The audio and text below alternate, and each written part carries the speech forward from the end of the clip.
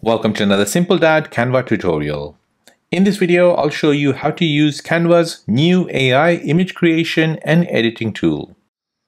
If you're new on the channel and you want to find out more about your iPhone, your Android phone, or any other social media apps, then go ahead and hit that subscribe button to become a part of the Simple Dad community.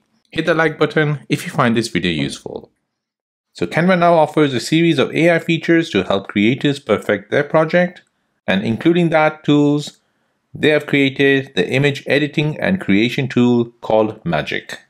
So let me show you how you can use this tool to create an AI image using Canva.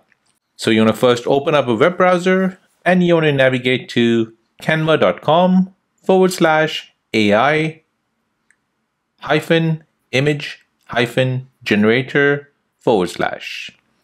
I'll put this link in the description down below so you can visit it from there.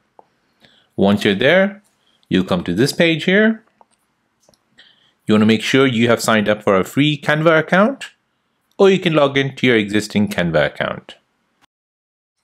Now once you're logged in, you'll come to this page here where it'll say free online AI image generator. So go ahead and tap on generate AI images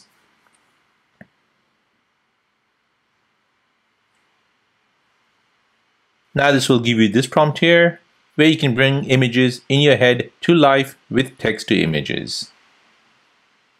So go ahead and tap on try it now, try it out. Now this will take you to this page here. Tap on use at the left hand side.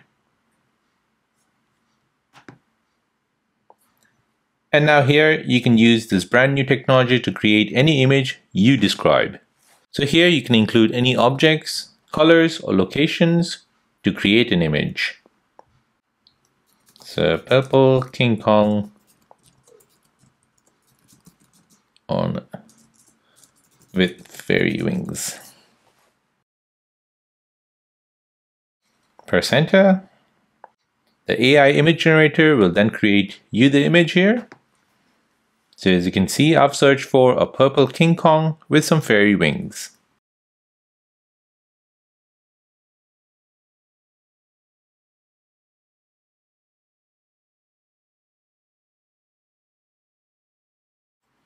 So you can choose your style. You can have a filmic style or a dreamlike. And then tap on create again.